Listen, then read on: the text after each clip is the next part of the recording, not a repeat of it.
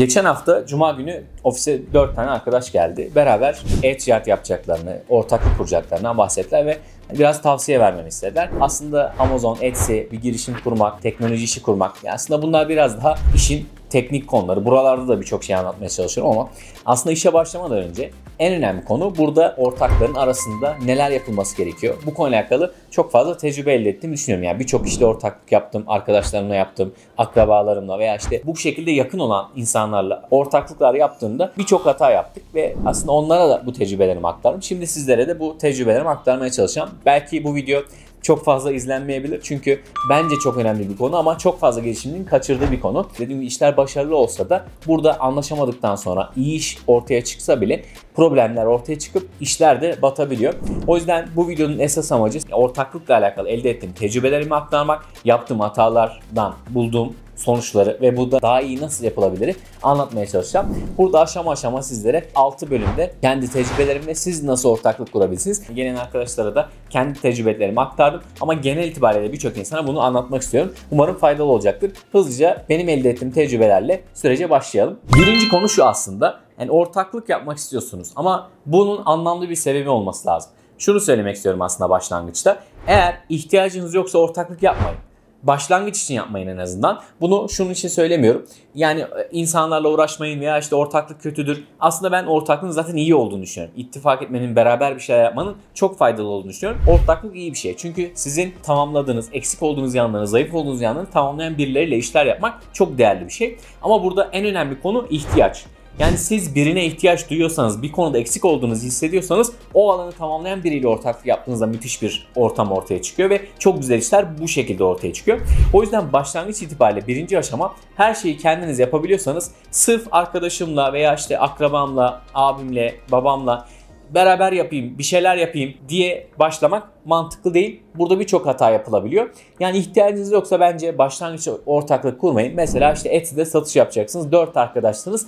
Başlangıç ortaklık kurmanıza gerektirecek çok fazla bir şey yok. Zaten çok zor bir şey değil. Ama burada ihtiyacınız varsa mesela siz satışla alakalı uğraşmak istiyorsunuz ve bu konuyu biliyorsunuz. Bir arkadaşınız da üretici ise o zaman güzel bir ikili olabilirsiniz. Veya bir yazılım projesi geliştirmek istiyorsunuz ama yazılımı siz bilmiyorsunuz. Siz bu işin satış, marketing, pazarlama, destek süreçlerini yürütüp bir ortağınızda bu işin üretimi yani yazılımı geliştirebilir. Aslında buradaki temel nokta birbirinize ihtiyaç duyuyor olmanız. Yani böyle legolar birbiriyle eşleşip girer ya. Aslında böyle olmanız lazım. Öbür türlü sadece arkadaşım beraber iş yapalım diye işe başladığınızda birçok sıkıntıyla karşılaşacaksınız. Şimdi birazdan bunlardan bahsedeceğim ama ilk konu bu.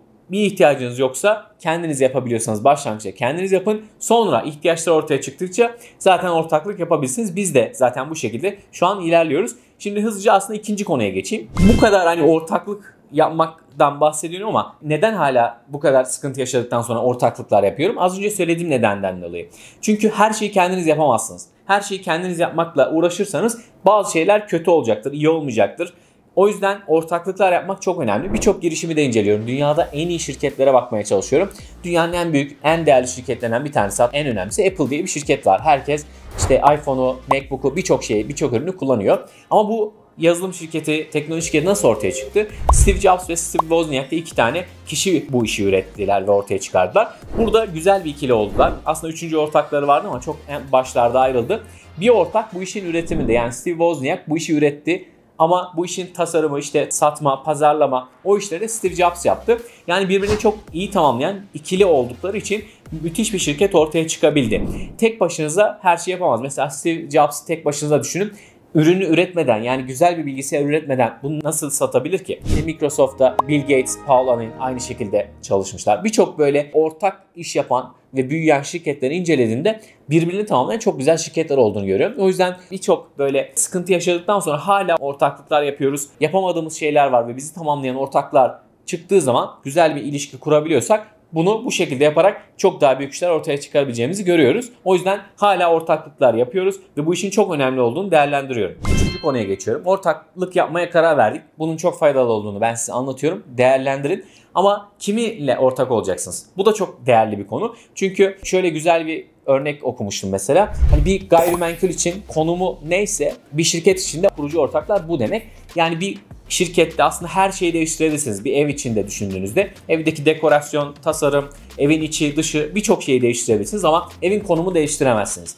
Aslında o da kurucu ortaklar. Şirkette de bunun değişmesi çok kolay değil. O yüzden tasarımını, her şeyini, ürünü, yazılımı, iş fikrini, pazarı birçok şeyi değiştirebilirsiniz ama burada kurucu ortakları değiştirmek çok zor oluyor. O yüzden burada başlangıç itibariyle çok iyi seçmenizi ben tavsiye ederim. Burada ben kurucu ortaklarınız için 7 tane örnek yazdım. Siz tamamlayan olması, çalışkan olması, disiplinli olması, egosunun çok yüksek olmaması, iyimser olması, güvenin olması ve kendinden motive olması gibi bazı özellikler yazdım. Şimdi birazdan bu kurucu ortaklarımı nasıl seçmeliyim konusunda bunların detaylarını hızlıca geçelim. Dördüncü konu bu kurucu ortaklarımızı nasıl seçmeliyiz? Az önce söylediğim kriterlerin biraz daha detaylarına bakalım. Burada aslında ortaklık biraz daha evlilik gibi bir süreç. O yüzden başlangıçta bir kişiyle ortak olmadan önce beraber zaman geçirmeniz lazım. Ama bu böyle hani arkadaşlık zaman geçirmesi gibi olmaması lazım. Çünkü zaten birçok arkadaş birbirini tanıyor diye düşünüyor ama İş yaparken insanlar farklılık gösterebilir. Az önce söylediğim kriterlere uygun olmayabilir. Yani canı sıkılabilir, motivasyon olmayabilir, çalışkan olmayabilir. Çok güzel bir arkadaşınız vardır ama disiplinli değildir, iyi çalışmıyordur. Ama bu işler zorlayıcı işler. O yüzden bu işin biraz daha detayına girdiğimizde bu şekilde olmasını ben size tavsiye ederim. Birinci konu zaten sizi tamamlayan bir insan olması. Az önce söylediğim gibi Steve Jobs, Steve Wozniak örneği birbirini tamamladığınızda müthiş ikililer oluşturabiliyorsunuz. Başlangıçta bir ortakla çalışmadan önce beraber bir zaman geçirin. İşte onu tanımaya çalışın. İşte onu tanıdıktan sonra o zaman biraz daha ortaklık sürecine ilerleyebilirsiniz. İkinci konu çalışmayı sevmek. Yani çalışıyor olması. Çünkü bir şey ortaya çıkarıyorsunuz, bir şirket ortaya çıkarıyorsunuz. Başlangıç zor olacaktır. Çalışkan olmayan bir insanla ortaklık yaptığınızda zaten işler çok fazla olacak başlangıçta. O yüzden siz işte şu kadar çalışıyorsunuz, o bu kadar çalışıyor gibi problemlere girmemek için çalışkan insanlarla başlangıçta ortaklık yapmak çok mantıklı. Sonra biraz daha böyle hani işinizi büyüttükçe şirketinize insanlar alırken de bu şekilde kriterlere göre zaten ilerlemeniz gerekiyor. Bir diğer konu güvenilir olması. Zaten hani ortaklıktaki en önemli konu hani evlilik gibi dedim ya insanların birbirine güveniyor olması. Siz güvenmediğiniz bir insanla iş yapmazsınız. Bu güven de bir sürede yavaş yavaş oluşan bir şey. Siz bir iş yapıyorsunuz. Hani ortağınız ayrı ayrı işler yapabilir. Arkanızdan başka şeyler yapabilir. Size haber vermeden bir şeyler yapabilir. O yüzden hani güvenilir olması da çok önemli. Bir diğer konu egosunun yüksek olmaması. Ego izleyenemi diye bir kitap var. Okursanız zaten bunu siz de anlayabilirsiniz. İnsanlar bir şeyler yapıyor ama bu yaptığı şeyleri çok fazla görüyor olabilir. Bu da aslında sıkıntı yaratan bir konu. Yani bir ortaklık kurdunuz iki kişi. Bir ortak çok fazla çalışıyor, bir ortak çok az çalışıyor. Ama o az çalışan ortağa sorduğunuzda ya ben çok çalışıyorum işte yaptığım işler çok önemli. Sen ne yapıyorsun ki? Gibi düşüncelere girebilir. Aslında bu egodan gelen bir şey. O yüzden hani bu konularda da biraz daha böyle kendisini bilen insanlara ortak yapmanızı ben tavsiye ederim. Çünkü zaten çok fazla çalışılması gereken bir konu. Bir kişi az çalışıyor, bir kişi çok çalışıyor ama az çalışan kişi çok çalışsın ve yaptığı işlerin çok değerli olduğunu zannediyorsa buralarda da yine çalışmalar çıkabiliyor. Bunlar da yine ortaklığın bozulmasını sağlayan şeyler. O yüzden başlangıç itibariyle insanları tanırken bu egosunun yüksek olmayan, biraz daha kendisini bilen mütevazi insanlarla iş yapmak bence çok daha mantıklı. Bir diğer konu kötümser bir insanla ortak olmak. Bu da iyi bir şey değil. Çünkü sürekli bir şeyin olmayacağını düşünen bir insanla yanınızda bulunursa e siz bu işin yapmaya çalışıyorsunuz.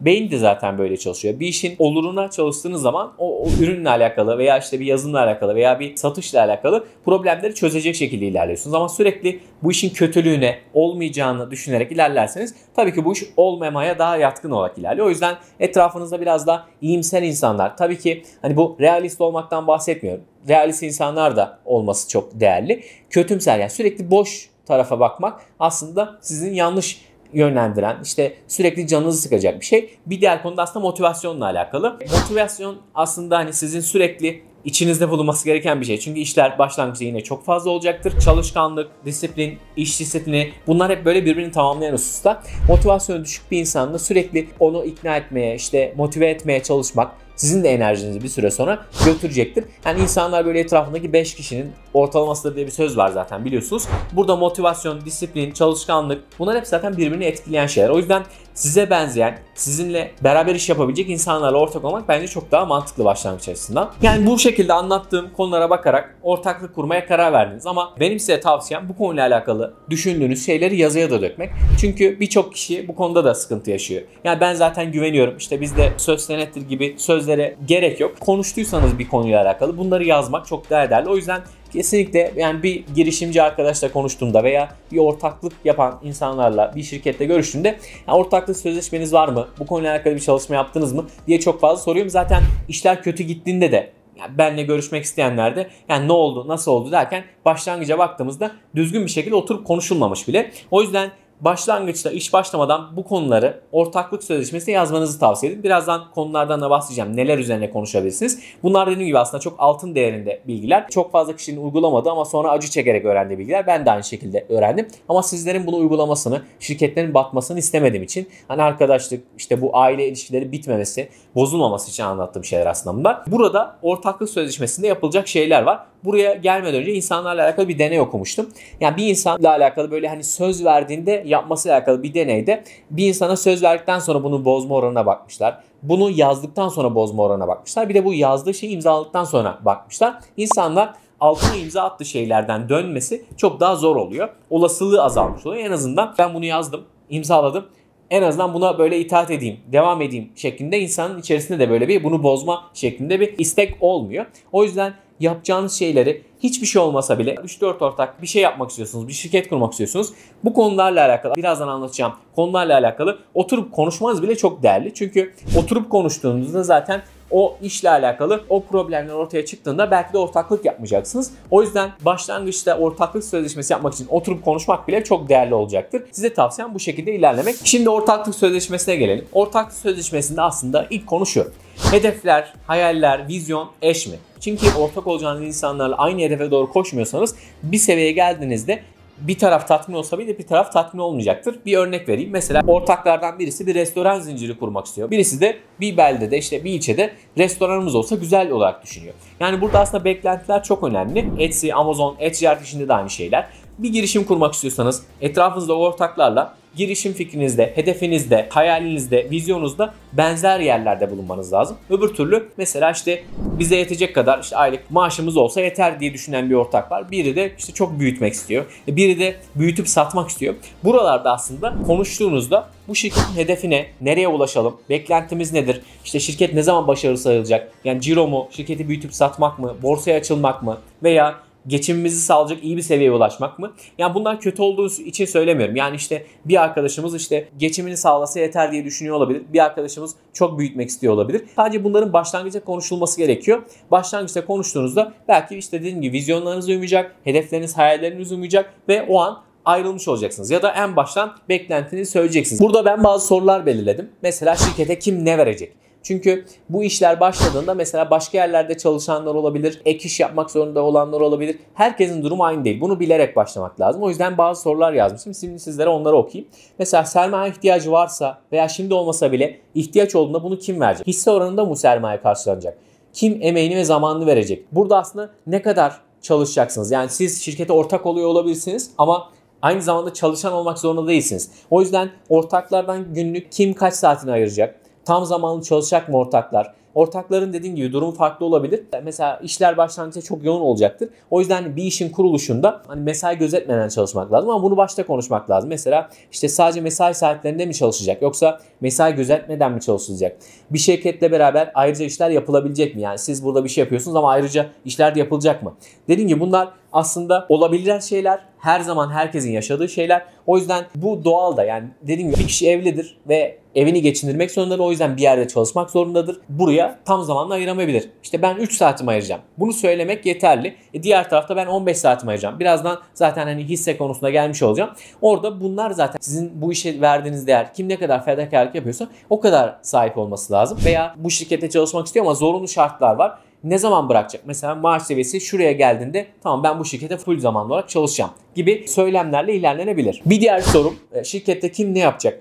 Aranızdan birisi bence kesinlikle lider seçmelisiniz. Çünkü işler büyüdükçe de karışmaya başlayacak. O yüzden bir lider seçmediğinizde işler daha çok karışacaktır. Yani bir karar alan bir kişi olması lazım. Çünkü bu olayı çok karıştıran bir konu. İçinizden birisini lider seçmeniz gerekiyor. Aynı yaşta insanlar olarak bir ortaklık yaptıysanız biraz zorlanabilirsiniz ama kesinlikle bir kişi işte CEO seçilmesi, lider seçilmesi lazım. Diğerleri kim ne yapacak, görevleri belirlenmesi lazım. Kararlar nasıl alınacak bunlara uyması lazım. Yani bir CEO seçilen kişi de despot bir şekilde karar almayacak. İstişare yani konuşarak karar almak lazım ama bunlara karar vermek çok önemli. Sadece sermaye verip hiç çalışmayacak bir ortak da olabilir. Bu baştan konuşulmalı. Bunları zaten sizlerle paylaşıyor olacağım. Ortaklar şirkette bulunmasa bile, çalışmasa bile maaş alacaklar mı? Aslında böyle bir şey olmaması lazım. Yani bir şirkette çalışıyorsanız maaş alabilirsiniz. Hisse sahibisiniz. Burada yıllık elde edilen kardan kar payı alabilirsiniz. Ya da zaten şirket satıldığında veya borsa açıldığında siz zaten buradan alacaksınız. Bir diğer konuşulması gereken konu da kar dağıtılacak mı? Yoksa kar dağıtmayıp şirketin büyümesi için mi harcanacak? Bunlar hep böyle başlangıçta konuşulması gereken konular. Bir diğer en fazla problem yaratan konu da kimin ne kadar hisse sahibi olacağı. Bunu hani başlangıçta belirlemek zordur. Çünkü zaten kimin ne yapacağı veya işte ne kadar katkı sunacağı belli olmayabilir. Bunu da birazdan söyleyeceğim şartlara göre belirlemeniz lazım. Mesela işte 4 arkadaş oturdunuz işte beraber iş kuralım. Hemen işte %25 %25 diye belirlemeyin. Çünkü bu sıkıntılı bir konu. Gelecekte ne kadar zaman harcayacaksınız, ne olacak, şu an ne veriyorsunuz bunlara göre de belirlenmesi lazım. Temel nokta şu aslında. Şirkete kim ne katkı yapacak? Yani para mı verecek, işte emeğini mi verecek, zamanını mı verecek veya network'ünü verecek? Bunların hepsi önemli şeyler. Şirkete kim ne kadar katkı yapıyorsa o hisse sahibi daha fazla olması lazım. Mesela ben şirkete 1 milyon TL para yatırdım ama hiç çalışmayacağım. Yani ben sadece para verdim. Başka birisi sadece network'ünü verebilir. E, başka birisi ben bu işte full zamanlı olarak çalışacağım diyebilir. Bunun gibi birçok konu var aslında. Kim ne kadar şirkete veriyor ve fedakarlıkta bulunuyorsa o kadar hisse sahibi olması lazım. Bunları başta belirlerseniz o şekilde ilerleyecektir. Dediğim gibi bir süre sonra işler karışabilir. Birazdan böyle olumsuz senaryolardan da bahsedeceğim. Taahhüt ettiği şeyi vermeyebilir veya işte bu konuyla alakalı söylediklerini yapmayabilir. Bununla alakalı olumsuz senaryoları da konuşmak lazım ama insanlar karakter olarak da insanın yaratılışı olarak da bazı şeyleri kabul etmek zorundayız. Yani böyle nehrin akışına ters hareket etmememiz lazım. Yani işte ben çok çalışırım başkası çalışmasa da sıkıntı yok ben devam edebilirim deseniz bile birçok insan etrafınızdakiler veya başka birileri bu konuya sabredemeyeceksiniz. Sizin de canınız sıkılacak. Ortağınız da canınız sıkılacak. O yüzden iyi gitmeyecek. Başlangıçta kim ne kadar çalışacaksa, ne kadar emek harcayacaksa bunların belirlenmesi çok değerli olacaktır. Hisseler de buna göre belirlenmesi lazım. İnsan çünkü bunun karşılığını görmek ister karşını göremediği zaman hem motivasyonu bozulur hem arası bozulur. Yaptığı bir tür ürün, yazılım artık ne varsa hepsi boşa gitmiş olur. Bunlar çok değerli konular. Birçok şirket başlangıçta çok iyi gideceğini düşünüyor ama az önce söylediğim gibi kesinlikle olumsuz senaryoyu baştan düşünmek lazım. Bazen başlangıçlar çok heyecanlı olur, çok iyi gideceğini düşünülebilir. Ama iyi gitmeme senaryoları da kesinlikle yazmak lazım. Ben aklıma gelen bazı soruları yazdım. Şimdi sizlere onları paylaşacağım. Mesela verilmesi taahhüt edilen ve verilmediğinde ne olacak? Mesela 500 bin TL para vereceğimi söyledim ama vermedim. Ne olacak? Mesela hissen mi düşecek? Bunlar önemli. Birisi günde 10 saat çalışacağım dedi ama 2 saat çalışıyor. Ne olacak? Hisse yapısı değişecek mi? Yoksa sadece maaşı mı ona göre belirlenecek? Ya bunlarda herhangi bir problem yok dediğim gibi. Sadece başlangıçta bunları konuşmak bile çok değerli.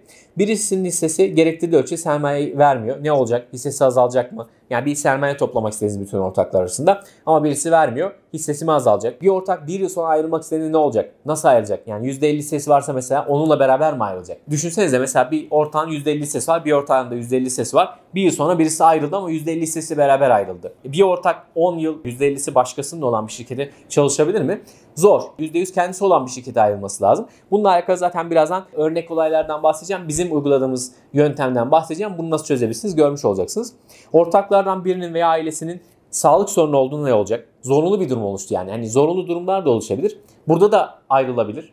Dolayısıyla burada ne yapacaksınız? Bir ortak ayrılmak istediğinde dışarıya hisse satabilecek mi? Sonuçta bir borsaya açılmış şirket değilsiniz o yüzden önceden ortaklara teklif etmek mantıklı. Ama satmak istiyorsa dışarı satabilir veya satamayabilir. Bunları konuşmak gerekiyor. Burada aslında en önemli konu şu. Hisselerin tam olarak verilmesi, verilmemesi alakalı bir örnekten bahsedeyim. Vesting diye bir konu var. Vesting Cliff şeklinde. Batılı şirketlerin, startupların uyguladığı bir sistem. Siz mesela 4 kişisiniz. 4 kişi ortak olun. %25 ortaklık yaptınız her biriniz. %25 hisseye anında sahip olmuyorsunuz aslında. 5 yıllık bir dilim veya 4 yıllık bir dilim sahibi olmak için belirleniyor. Mesela ilk yıl oldu. İlk yıl bitti. Şirket herkes verdiğini, taahhüt ettiğini uyguladı. O zaman herkes %5'e sahip oluyor. İkinci yıl yine uyguladı. Herkes %5 daha almış oluyor. Yani %10'a ulaşmış oluyor. İkinci yılın sonunda birisi ayrılmak istedi. O zaman %25 hakkıyla değil de %10 hakkıyla ayrılabiliyor. Bu modeli uyguladığınızda insanlar o hisseyi hak etmek için zaten bir 5 yıl çalışmış oluyor. Yani bunun da ortalaması 4 yıl 5 yıl. Zaten 4-5 yıl içerisinde şirket bir yere gelecektir. O yüzden ilk başlangıçta o 4-5 yıl ekibin ayrılmaması lazım. Ayrılıyorsa da işte cüzi bir hisse alarak ayrılması lazım. Bunun da uygulaması bu şekilde batılı şirketlerde. Biz de bu şekilde uygulayarak ilerliyoruz. Siz de bunu uygularsanız bence bir problem yaşamazsınız. Burada zorunlu durumlar da olabilir dediğim gibi. İkinci yılın sonunda zorunlu bir durum oldu. Sağlık sorunu oldu. Ayrılmak istiyor. Ne yapacak? Yani o güne kadar ama sağladığı katkılar var. O yüzden %25'in değil de %10'unu alarak ayrılabilir. Bu konuyla alakalı herhangi bir problem olmayabilir. Ama dediğim gibi siz bunu kendiniz belirleyebilirsiniz. Bu anlattıklarım gibi aslında çok fazla konu var. Benim de aklıma gelmeyen bir sürü şey olur. Aşağıda siz de yaşadığınız tecrübelerden bahsedebilirsiniz. Burada aslında en önemli konu bu. İşe başlayacaksanız, bir iş yapacaksınız. Oturup konuşmak, ortaklık sözleşmesi hazırlamak için bile oturmak çok değerli. Başta da söylediğim gibi ayrılabilirsiniz. Yani burada konuşmanın sonucunda uyuşmadığınızı anlayabilirsiniz. O yüzden başlangıç itibariyle oturup konuşmak çok değerli. Birçok şirketi inceledim. Tek başına bu işler çok zor oluyor. O yüzden ben hala ortaklık yapıyorum. Şirket olarak ortaklık yaptığımız başka şirketlerde oluyor. O yüzden burada bir problem yok. Baştan itibaren bunu söylüyorum. Birbirinizi tamamlayan, çok güzel işler yapabileceğiniz kişilerle, şirketlerle ortaklık kurmak çok iyi bir şey. Zaten mükemmel vizyonlar böyle mükemmel insanlar olmadan ortaya çıkmıyor. Bu konu da çok önemli. O yüzden sizinle beraber yol yürüyebileceğiniz yol arkadaşları bulmaya çalışın. Burada yollarda sıkıntı yaşanabilir, problemler yaşanabilir, yorulabilirsiniz. Birçok sıkıntı olduğunda birbirinizi destekleyecek arkadaşlar bulmak çok değerli. Ortaklar bulmak çok değerli. Birinizin canı sıkılsa diğeri ona destek olacak. Birinin problemi olsa diğeri ona destek olacak. Bu şekilde iyi şirketlere baktığımda en az 2-3 ortakla bu işleri başardıklarını görüyorum. Hatta Y Combinator var biliyorsunuz. Dünyanın en büyük hızlandırıcılarından bir tanesi. Dropbox'ın kurucusu buraya gittiğinde git bir kurucu ortak bul öyle gel demişler. Yani biliyorlar ki tek kurucuyla başarılı olmak çok zor. O yüzden en az 2-3 kurucu ortakla bu işe başlamak çok da mantıklı olduğunu ve sonuca ulaşmak açısından en doğru yolun bu olduğunu söylüyorlar. Siz de bence bir işe başlıyorsanız sizinle beraber iş yapacak insanlara bu şekilde seçmenizi, bir anlaşma yapmanızı, sözleşme yapmanızı ve buraya uyarak ilerlemenizi tavsiye ederim. Şirket başlatmak zor bir şey. Başlangıcı daha zor, büyütmek daha zor. Buralarda yalnız başına yalı olmak çok zor. O yüzden beraber ilerleyeceğiniz arkadaşlarınızla güzel işler yapabilirsiniz. Ama kötü tarafı da baktığınızda yaptığınız işlerin boşa gitmemesi için bu anlattığım kriterlere, benim tecrübelerime dikkate alarak ilerlerseniz aşağıda yorumlara yazılan şeyleri de okumanızı tavsiye ederim. E, orada da insanlar tecrübelerini paylaşacaktır. Sizler de yaşadığınız tecrübeleri paylaşın. Yorumlarda bunun üzerine konuşmuş olalım. Ben de zaten hani elde ettikçe, öğrendikçe sizlere bunu anlatmaya çalışıyorum. Bu video dediğim gibi biraz böyle az izlenebilir veya az kişinin işine yarayabilir ama yarayan insanlar için çok önemli olacağını değerlendirdiğim için sizlere de anlatmak istedim. Birçok ortaklık yaptım, elde ettim tecrübeleri sizlere anlatmaya çalıştım. Çok değerli bilgiler verdiğimi düşünüyorum. Ama sadece benim vermem bir şey ifade etmez. Yorumlarda siz de bu şekilde ortaklık yaptığınızda neler yaşadınız, nasıl problemler yaşadınız, nasıl çözdünüz veya iyi giden ortaklıklarınızda nasıl yaptığınızda neden iyi gitti bunları yazmanızı istiyorum. Hem benim için faydalı olacaktır öğrenmek açısından hem de birçok izleyen, dinleyen arkadaşımız için çok faydalı olacaktır. Umarım bu anlattıklarım sizler için faydalı olmuştur. Aşağıda yorumlarınızı bekliyorum. Görüşmek üzere.